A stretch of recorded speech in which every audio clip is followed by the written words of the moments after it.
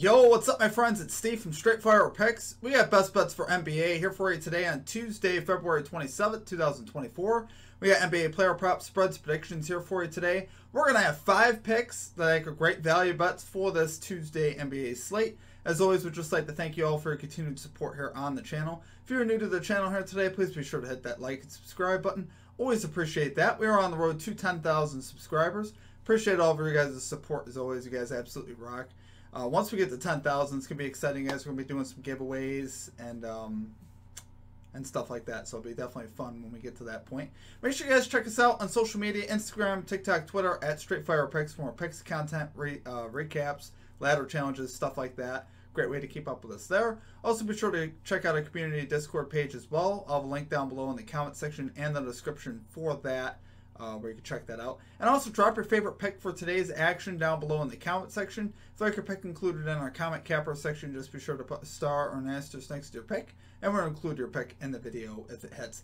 Okay, guys, now it's time for a shout out to our Straight Fire MVPs. So, as always, you see this beautiful list here running beside me of all of our Straight Fire MVPs. If you guys are interested in becoming a Straight Fire MVP today, there is a join button down below. I'll also have a link in the comment section and the description for that. Great way to support the channel and what we do here at the channel. The cost is just $3.99 per month. You get access to our picks and plays early and our notes.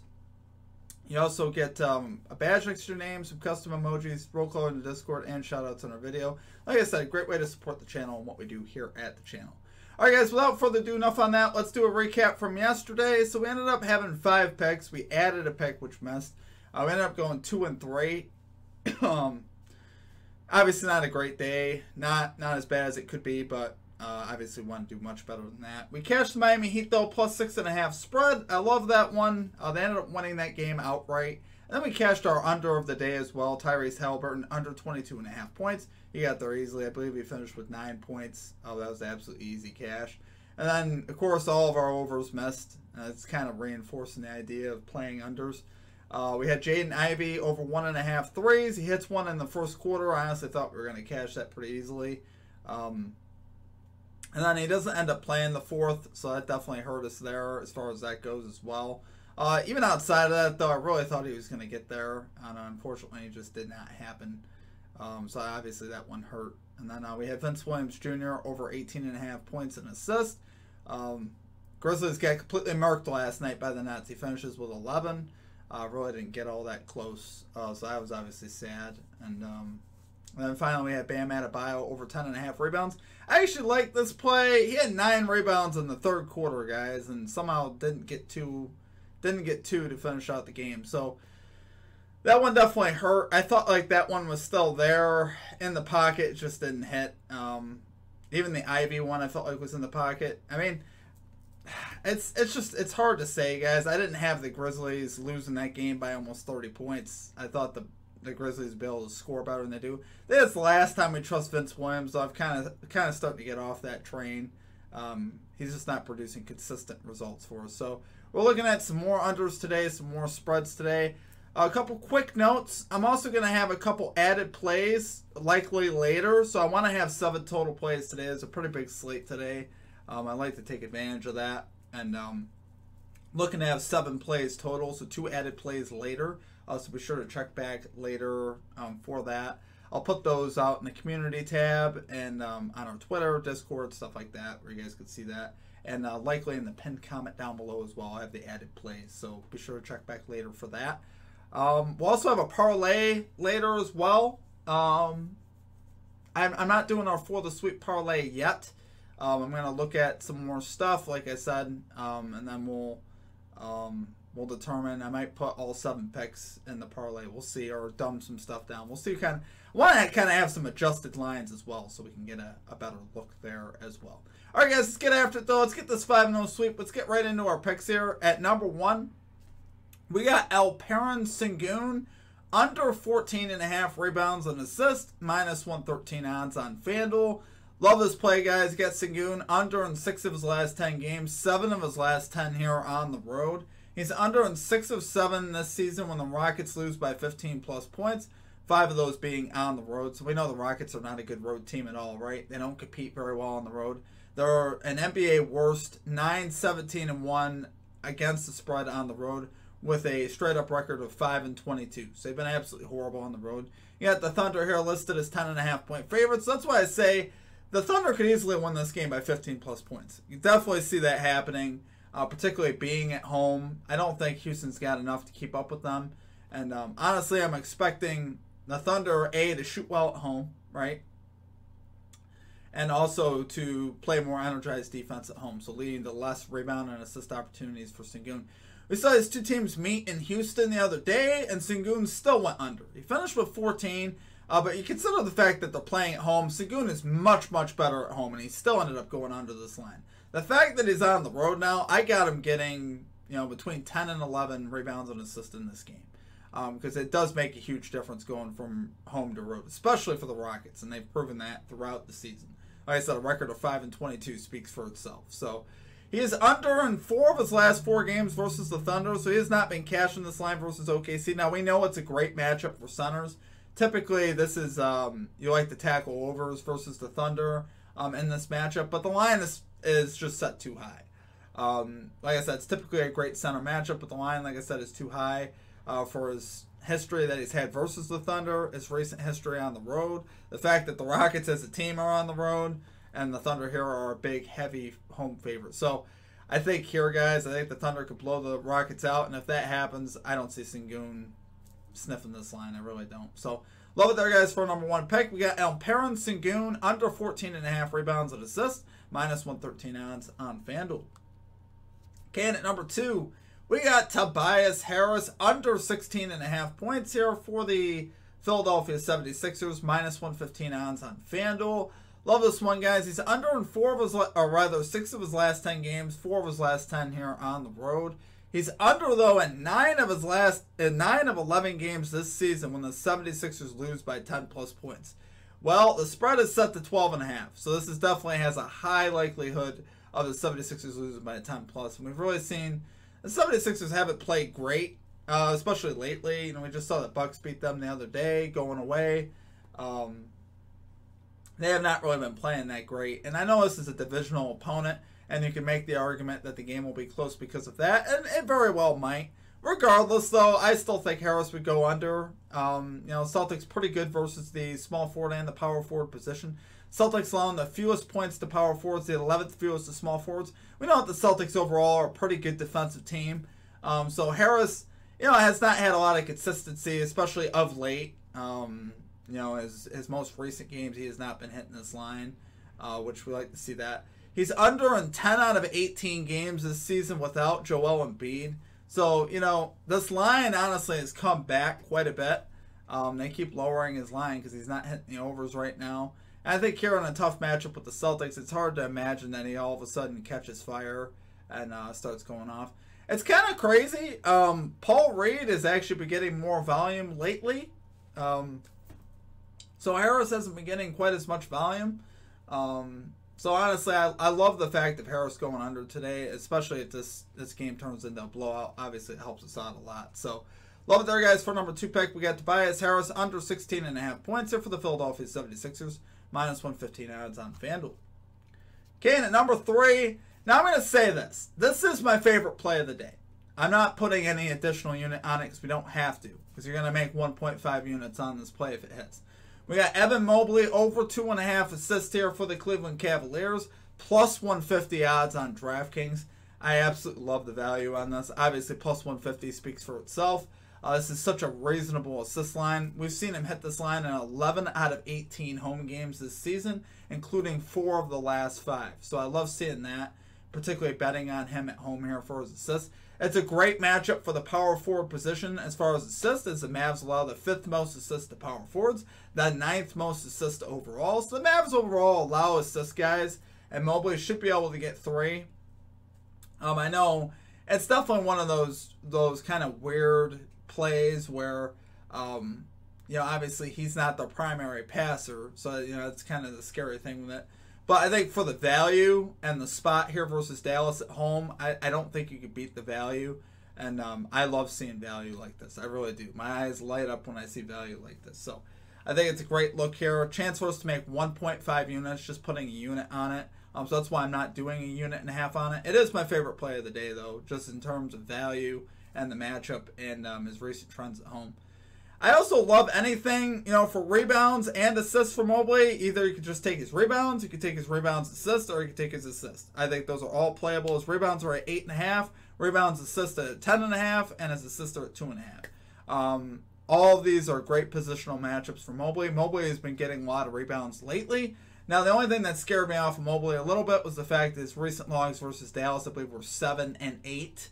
Um, so he did not hit the over versus Dallas his last couple games. But um, despite that, him being at home, I think he's got a great chance still to hit that over. And the, particularly the rebounds and assists, I think, uh, would be probably your best. How do I put this? He's 14 out of 18 at home hitting that rebound and assist line at 10 and a half. Um, so that is definitely percentage wise probably your best hit rate. I think the value is the best on the two and a half assists. Looking at plus 150, um, you really can't beat that, and I think he's going to get those three assists for us. So um, he is two for two. His last two logs versus the Mavericks with logs is six and four. So that's the other thing I liked um, in the difference between uh, the rebounds and assists. Um, he's cashed this easily versus the Mavericks his last two. And um, I think he'll do it again here for today for us. So, love it there for number three pick. We got Evan Mobley over two and a half assists here for the Cleveland Cavaliers, plus 150 odds on DraftKings. Okay, and at number four, we got the Charlotte Hornets plus 14 and a half spread here versus the Milwaukee Bucks, minus 110 odds on FanDuel. So we are officially 2 0 and 1 betting on Hornet spreads, guys. I love the way that this team has been playing, uh, particularly on the defensive side. They are first first, number one, in defensive rating over the last six games since the trade. So since you've seen Tre Mann enter the fold, Grant Williams, and all those guys, Seth Curry, they are first in defensive rating, and they also have a five and one record. So they've also they've been playing great defense and they've been winning. What's that? What's that thing? Defense wins championships. Well, not for the Hornets this year, but it can win them some games. Uh, they've been absolutely fantastic on the defensive side of the ball. It's been kind of crazy looking at it because they've played some really good offenses. Uh, they've played Golden State. They've played Utah at Utah, uh, which is really tough. They played Indiana at home. They played Atlanta. Those four offenses are very, very good. Um, and very tough to hold those offenses down. They did a very good job in all four of those games. Um, and I believe they covered, let's see, they covered in all those games as well. So they've been they've been an absolute wagon here lately. This spread is crazy. 14 and a half points. Uh, like that's just too high for me. I think if the spread were like eight and a half, seven and a half, I'd probably stay away from it. But 14 and a half, that's crazy to me. Uh, for a team that's playing defense the way they are, are they going to be able to stop Giannis? Probably not. Uh, but overall, I think the effort will be there defensively. They'll be able to keep this game relatively close. Um, I like the way that these role players are playing here for the Hornets. Now the Bucks have dominated both matchups with the Hornets this season, winning by 31 and 36 respectively. So it's obviously not good at all. But like I said, completely different team in Charlotte right now, completely different energy, right? Um, like I said, the spread is just simply too high. You know what's interesting about the Hornets is they haven't actually shot the ball great over the last few games, and they've still been covering spreads and winning games. If this team gets hot offensively, look out. Um, they can end up I might sprinkle their money line just just just for the sake of doing it. Uh, they were playing good enough for me to, to warrant that uh, that sprinkle. I believe it's like plus six or seven hundred. So, like I said, spread's too high. Love it, guys. Four number four pick. We got the Charlotte Hornets plus 14 and a half spread here versus the Milwaukee Bucks minus 110 odds on FanDuel. Okay, and finally at number five, we got the New Orleans Pelicans minus two and a half spread here versus the New York Knicks minus 110 odds on FanDuel. Guys, I love fading the uh, I love fading the Knicks in this spot. They are on a back to back. They're coming off a two point win over the lowly Pistons uh, in a game where they easily could have lost that game. If you guys watched the end of that game, they very easily could have lost that game. Pelicans are 15, 12, and 1 on the road against the spread. Pretty solid. Knicks 15, 13, and 1 at home against the spread, but just 4 and 6 against the spread on no rest. So not a great team covering spreads uh, when they don't when they're not rested. And we saw Brunson play 40 plus minutes last night. We saw Josh Hart play 40 plus minutes last night. So uh, those legs are going to be a little tired, right? And um, obviously, that doesn't help their cause in a team that's already struggling defensively.